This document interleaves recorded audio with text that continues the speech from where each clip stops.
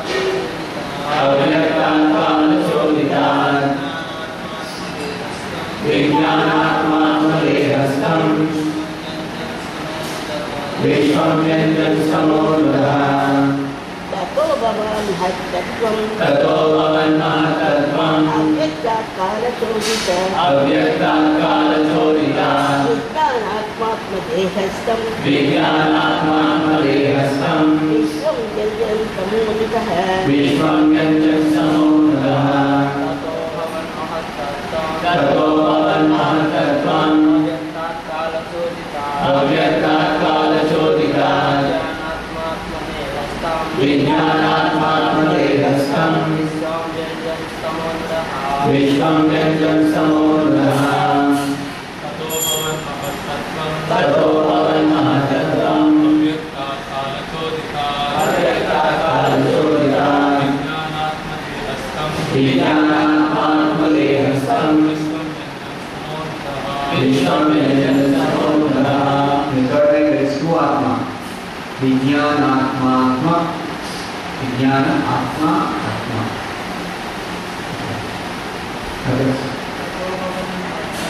ततो भवन् महत्तत्त्वम् अव्यक्ताकारशोभितात्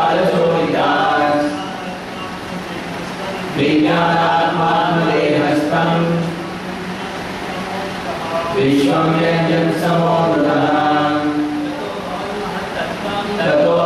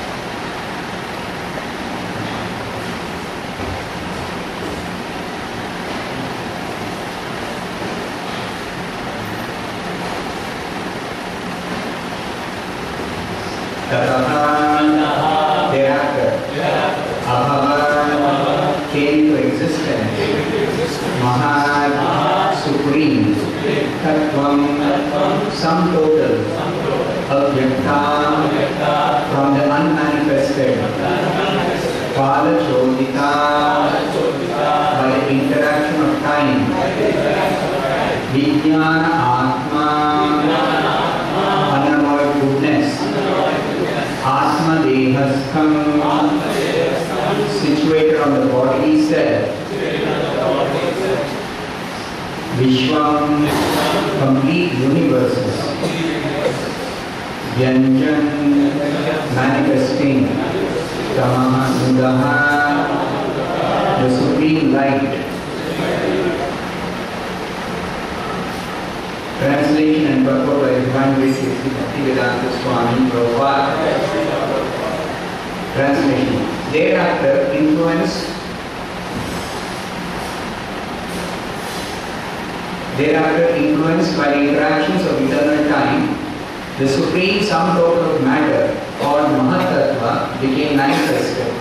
And in this Mahatattva, the unalloyed goodness, the Supreme Lord sowed the seeds of universal manifestation out of his own body. Please repeat the translation. Thereafter, Thereafter, influenced by the interactions of eternal time, the supreme sum total of matter, called the Mahat Tattva, became manifested. And in this Mahat Tattva, the unalloyed goodness, the supreme Lord sowed the seeds of universal manifestation out of his own body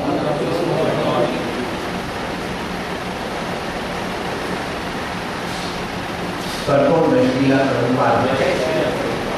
In due course of time, the impregnated material energy was manifested first as the total material ingredients. Everything takes its own time to fructify and therefore the word Kala influenced by time, is used herein.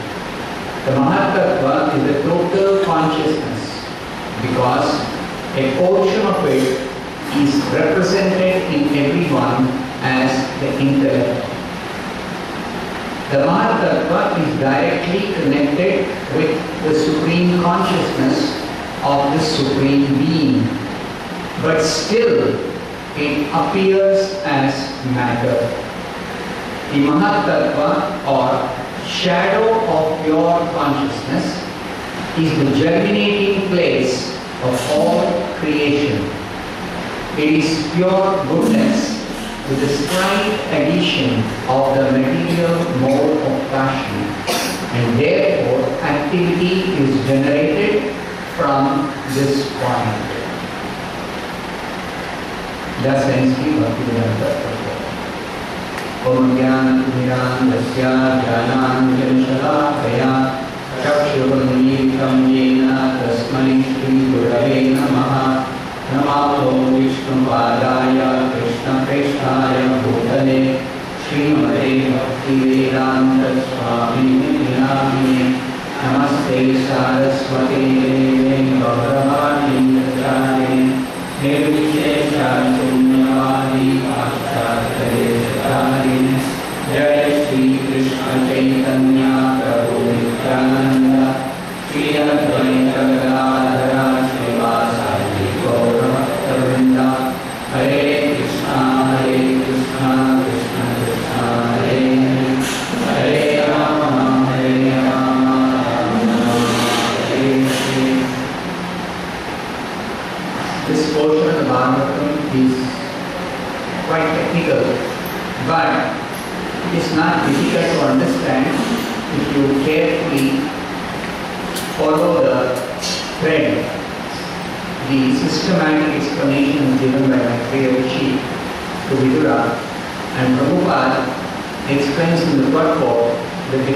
Terms which otherwise we may not understand. the fundamental understanding that we have to have is trying to understand how Krishna, the Supreme Personality of Godhead, about whom the whole Bhagavatam is describing, is the ultimate cause of everything. And as the cause of everything, how is he involved in things which are completely aloof from him? For example, this material world, in the material affairs that are going on, Krishna is completely aloof.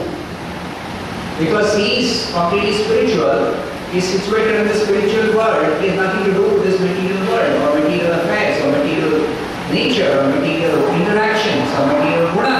He is completely aloof. So how is this Krishna being completely aloof also involved in everything that is going on in the material world. This is what we have to understand.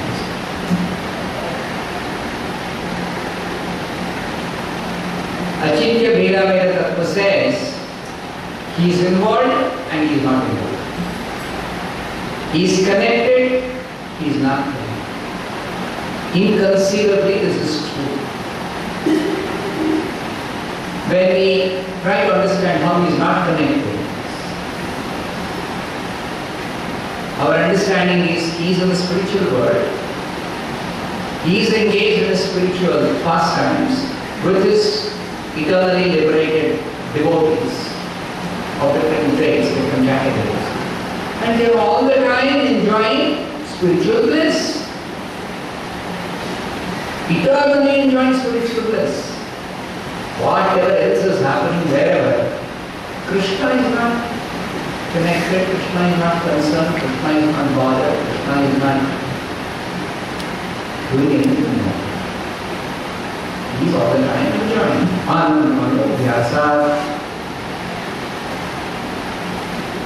Nitya Leela Murata. So many descriptions are there in scriptures. So he's completely alone. He's unconnected, disconnected. But the absolute truth, if you understand from the perspective of the absolute truth, Krishna is the absolute truth. As a sum total of everything, everything that is happening is because of him. He is connected. He is connected directly. What does the first verse of Bhagavatam say? The absolute truth is the source of the creation, maintenance and destruction of the material world. Janma yasya yataha anvaya itaratah artheshu abhijnaha he is indirectly and directly conscious of the entire material creation, maintenance, destruction. He is directly and indirectly conscious. Abhijna means is conscious. So indirectly conscious we can understand. He is empowered devatas. He is empowered different. His energies are working. Which are also the power of the or the force or the Shakti. And there are persons, living beings who are empowered. So the material is going by, empowerment. That is indirectly conscious. But directly conscious, how do we understand? Directly, how is he conscious of this material world, creation, destruction? To understand that, you have to understand this portion of the Bhagavatam where Maitreya Rishi is describing how the creation begins. So you get the context where Maitreya Rishi is going to explain how the creation begins. What happens at the beginning of creation? This is one perspective, mind you. It is not the only perspective to understand. One angle of understanding.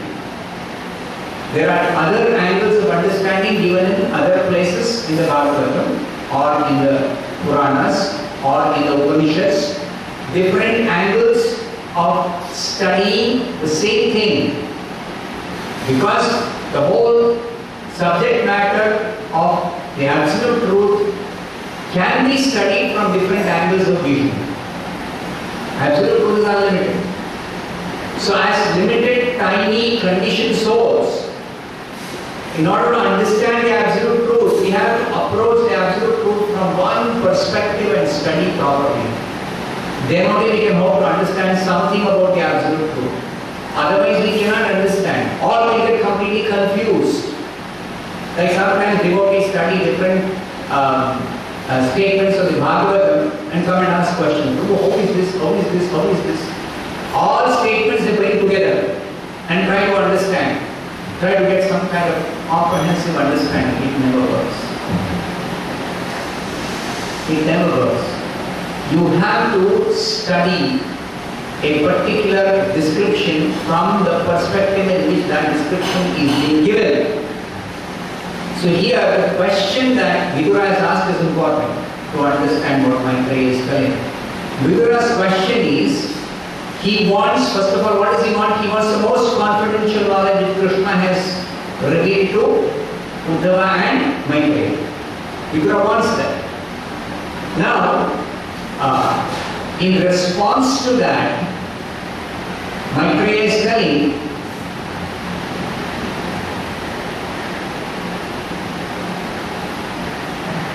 that Vidura is one of the eternal associates of Krishna and for the sake of Vidura, Krishna left behind some instructions with Maitreya and Maitreya is now going to give those instructions to Vidura. Krishna left behind, which is the most confidential knowledge.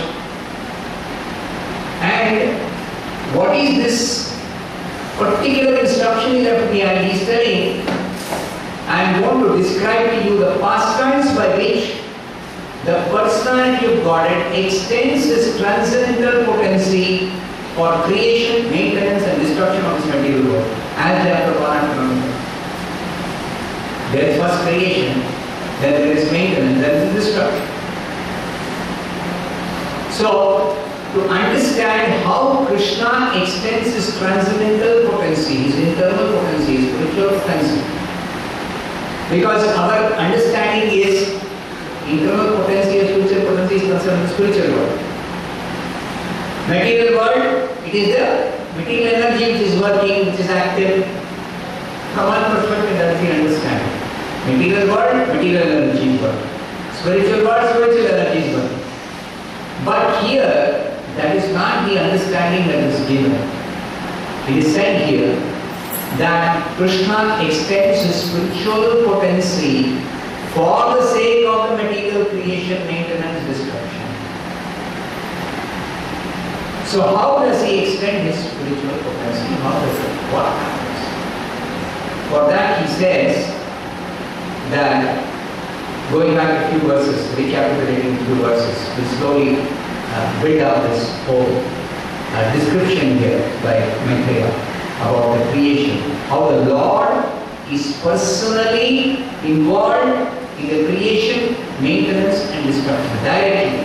That first verse, you remember, directly conscious of the creation, maintenance and destruction. How is he directly conscious? Okay. So uh, he says, my Maitreya says, the personality of Godhead, the master of all living entities, existed prior to the creation as one without a second. That means only he was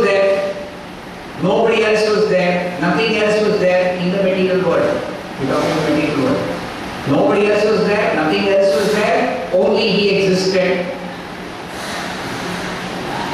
So this is in line with the Upanishads, the Puranas, all of which describe Eko Narayano Asi.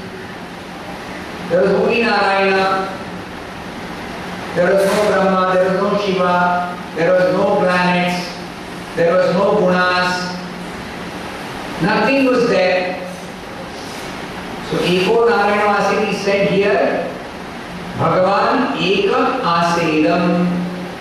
Agra.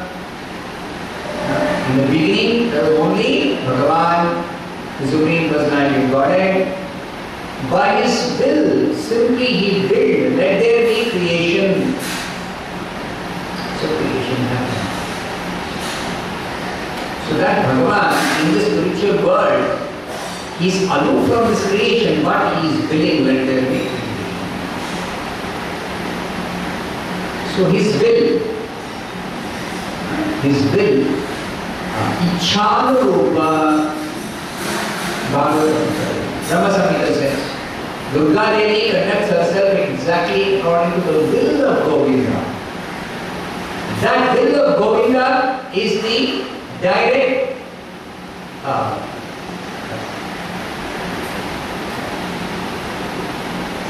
consciousness or directly aware. Govinda Krishna is directly aware of what is happening in this world because everything is going on according to his will. To his will. Therefore, directly he is aware. Then Maitreya says, as the only person who exists before this creation takes place, he is the only seer. It's only he who is aware what is happening. Nobody else is aware. Nobody else is conscious. Nobody else is perceiving.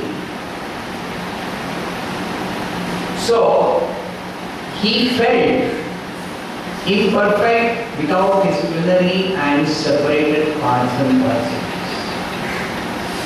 Krishna has got plenary portions and he has got separated portions. Swamsha Vibhinnamsha.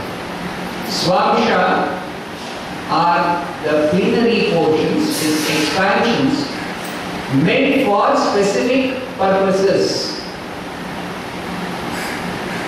And Vibhinamsha are the separated parts and parcels, the luminaries. Uh, Vibhinamsha. And as regards the energy, the material energy and spiritual energy, it is said here, the material energy was dormant. Dormant is inactive, no activity. Material energy, there was no activity. Whereas the internal potency was manifested. Internal potency was active, was present, was active. So internal energy is eternally active, is eternally working, is eternally uh, present. Whereas the material energy, when it is dormant, it is as if it does not exist. Inactive. Energy is a very subtle thing. Energy is a subtle thing. Energy means force. Energy means active. So what does it mean? Energy is inactive. It's very difficult for us to conceive. Energy and inactive. That means potentially there is possibility of activity. But for the present, that activity is not seen or not taking place. Just like atom bomb. Inside the atom there is so much of energy which we can perceive is released only when atomic explosion takes place. So potentially in every atom there is so much of energy, correct? But will that energy be very apparent or can be understood that so much energy is there in a small atom? Can make out? But only when the atomic explosion takes place, oh, so much energy is there inside. We do not know. We could not make out. Same way, material energy, when it is dormant, you cannot make out. Nobody can make out, oh, material energy is there, so much potential is there.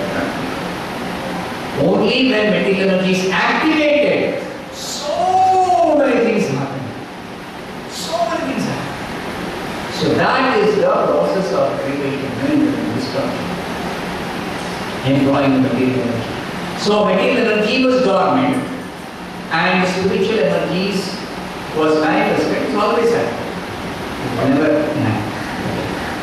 The Lord is a seer and the external energy is seen. He is seeing or he is glancing. He is doing something with what? With the external energy by glancing, by just throwing his glance, by just seeing. He just seeing the material energy which is lying dormant. And immediately the material energy, something begins to happen. What happens?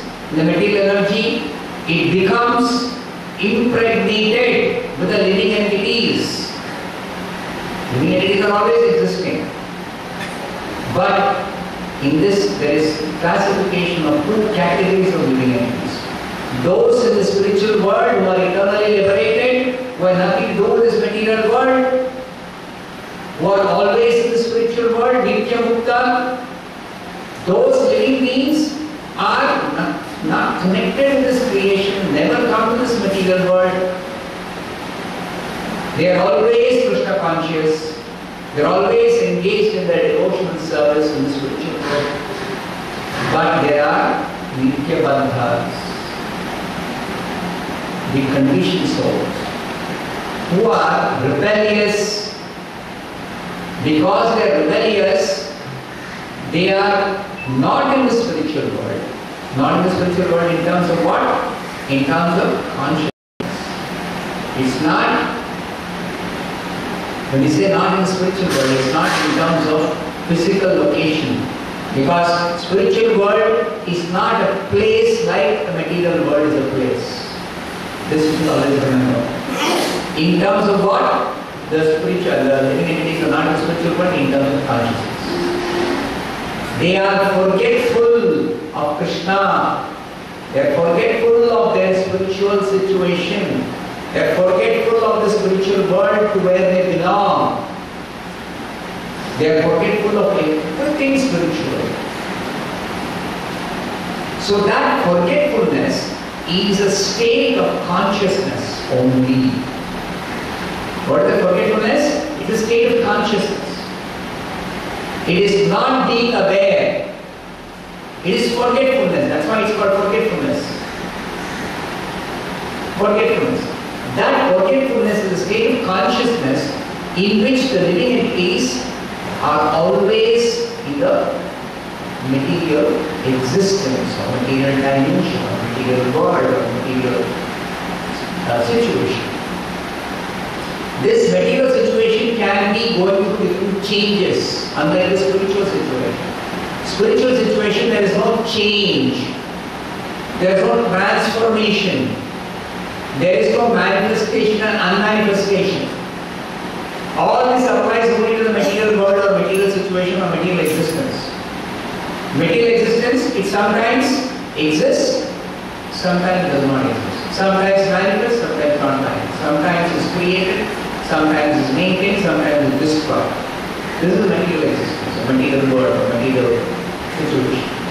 So this material situation is being described now by Maitreya. He says this material energy is lying dormant into that Krishna or uh, Mahavishnu uh, glances and impregnates, infuses, throws inside all the conditioned souls, the living in in the material. As soon as that happens, today's verse, thereafter, influenced by the interactions of eternal time. Now, eternal time is eternal. Eternal time, eternal kala. Kala is also another energy. That energy is working, always active. Kala is always active. In the material dimension, kala is always active. That kala is influencing this mixture what is the mixture? Material energy which is dormant is impregnated by the living beings, by the conditioned souls. The kala is interacting, influencing, and what is generated is called Mahatattva. So there is a dormant material energy, there are the living and conditioned souls. Mahavishnu glances, puts the conditioned souls into material energy, material energy becomes influenced by Kala and there is the Mahatattva which is generated. So what is this Mahatattva? Carefully understand what is Mahatattva. This Mahatattva is described as unalloyed goodness, Vijnana Atma. Vijnana Atma. Unalloyed goodness. Unalloyed goodness because this Mahatattva is the total consciousness. Is the total consciousness, which is actually a shadow of the pure consciousness of the Supreme Lord.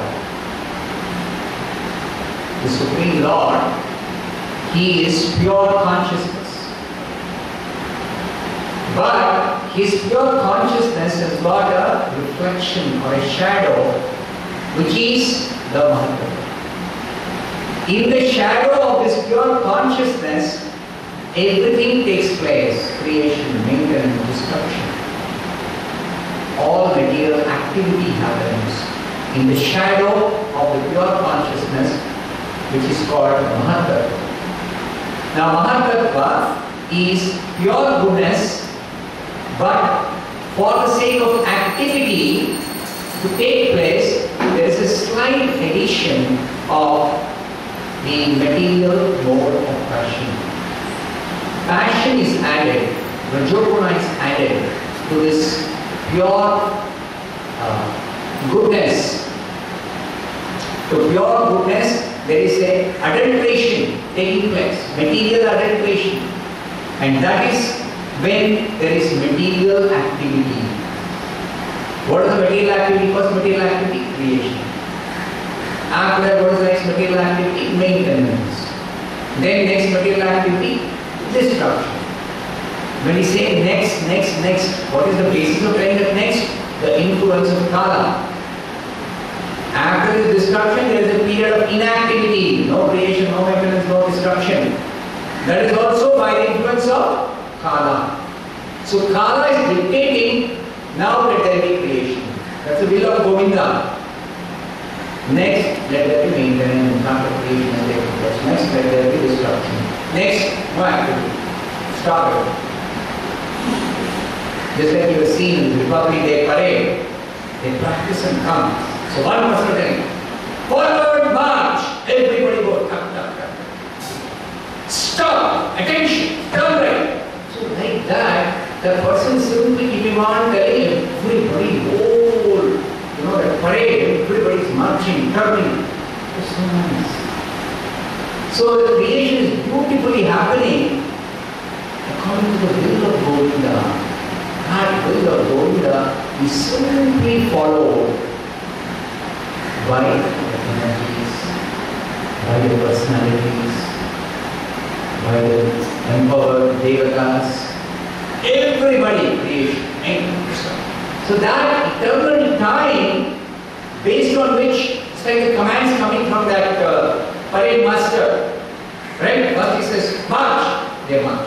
Then stop, they stop. So there is a timing. Exactly according to timing, synchronized way is happening. So it looks very nice. Everything is so, so beautiful. But same way creation, wonderful creation is taking place. Who is that master? It is Krishna. He is giving his directions or the commands through his will. He is giving the commands through his will. And that will is manifested in this material world through what is called as his pure consciousness. His pure consciousness. His pure consciousness. Is manifested in the will. His will. Just like you sit and desire. I want a rasgulla. You're sitting, you're desiring, I want a rasgulla. Then somebody suddenly brings a rasgulla to you. Desire to eat is me. Right? So, actually, in our case, we know that it is not happening simply of my desire. Paramatma is inside my heart. He knows my desire. He has arranged through his agency for that to happen. But for the sake of Krishna, if he desires something, there are energies which are waiting on him just to carry out his desire. The spiritual potency, his marginal potency, his external potency, his expansions, his energies, his expansions, his parts and parts, everybody is simply waiting to take some order from Krishna or understand his design and carry out the design. And they want him. And that is their pleasure, that is their service, is their existence, is their devotion. So is the spiritual world. Krishna and his desires. And he desires to enjoy. And everybody participates in this enjoyment. By waiting to serve his desire, eternally, they are enjoying. They are enjoying. Everybody's So part of that enjoyment of Krishna is his material creation. So he wills, he desires that there be creation. So it is creation. So, first of all, it begins with this expansion. Mahavishnu. Starting point is Mahavishnu. That Mahavishnu, even though the expansion is Krishna himself. He is a therefore Krishna himself. So, therefore, the creation begins with Krishna. Not with anybody else. Eko Narayano Asi, that Narayana is Mahavishnu. It says Eko Narayana Asi, is not a Narayana in the spiritual world. Narayana expands as Mahavishnu, and that Mahavishnu is concerned with it. Because Narayana is busy with the Vaikuntha Loka. It has nothing to do with this creation taking place, maintenance, nothing, it has nothing to do with it. If there is nothing to do, is his control, where is his control, where is his superintendence, where is his involvement, where is his consciousness? That is Mahavishnu. So that Mahavishnu begins the creation, begins everything that happens. And that Mahavishnu expresses his will through his pure consciousness. Whose shadow is this Mahatattva? This Mahatattva is the germinating place for all creation. Creation happens in this Mahatattva. So Mahatattva is also described as the total material ingredients for the creation. All that is required for the creation is there in the Mahatattva. But the Mahatattva itself is pure consciousness, therefore there is no possibility of any material activity in the Mahatattva as it is. So what happens? By the influence of Kala, there is a slight addition of Rajoguna, material mode of passion, that is added, that is adulterated in the Mahatattva. Then there is the activity of creation. Then something happens to the total material ingredients, something happens. What happens? You see, Bhagavatam,